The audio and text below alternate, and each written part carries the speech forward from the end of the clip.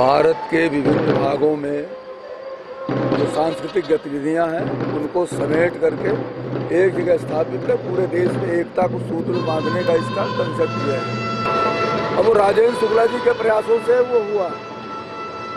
अब, उसका ये एक ईर्षा बस, इसको बंद करने का प्रयास किया जा रहा है।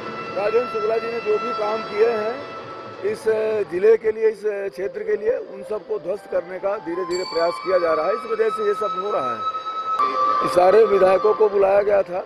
वो आएँगे सब। आज सिमरिया के विधायक जी हैं। कल सारे विधायक और आएँगे। उनके अपने अपने शेड्यूल है कार्यक्रम है। महापौर जी हैं जी जिला उपाध्यक्ष है विभा जी हैं। तो वो सब लोग आ रहे हैं आएँगे।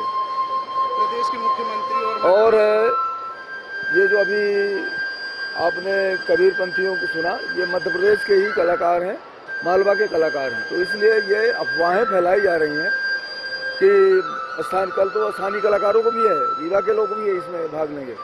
तो ये सब चीज़ें फालतू के फितरतबाजी में अफवाहों में मत फंसिए। ये हम लोग देश को, प्रदेश को, ज़िले को संरक्षित करने का काम संवर्धित करने का काम पुष्ट करने का काम करने वाले लोग हैं। इस तरह की छोटी छोटी ये कुंठित मानसिकता हम लोगों ने कभी पाल के नहीं रखा। कल किसका किसका आना हो रहा है कुछ?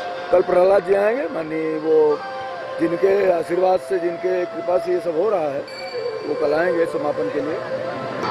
अब इन लोगों ने आमंत्रित किया है कौन आएगा कौन नहीं आएगा इसका प्रदेश वालों को बताया ना कि ये दिमाग कुंठित है।